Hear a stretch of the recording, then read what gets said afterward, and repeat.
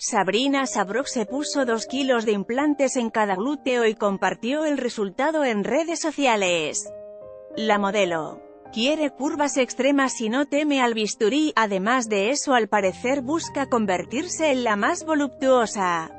Como relata las estrellas, se trata de la cirugía número 53 de Sabrina y se sometió a ella a mediados de diciembre del año pasado, párpados, nariz, senos, labios y ahora trasero la actriz de cine para adultos se aumentó. Los senos, se operó los párpados, labios y nariz, y ahora muestra una retaguardia enorme.